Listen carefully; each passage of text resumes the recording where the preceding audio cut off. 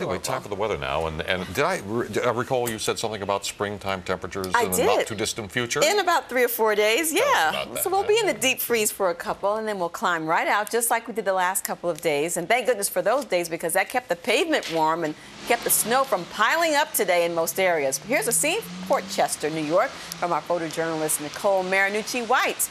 And you can see people walking along there without any real problem because snow really wasn't sticking that much. It was melting on the warm sidewalks around the area, but it may start to stick in some spots uh, as we go through the night. And here's a picture from my friend Roberta Chiarella. This is little, is that Chicklet or is that one of her other dogs? I'm not sure. I'm sorry, but I'm, me, I but know. I know you don't know. But that's uh, This is Chicklet. We're told It's, the- the- it's little Chicklet. Chicklet on the ice chunks in Little Neck Bay. Oh my goodness, Chicklet, be careful. Cute and adorable is that? Thanks, Roberta, for sending that in.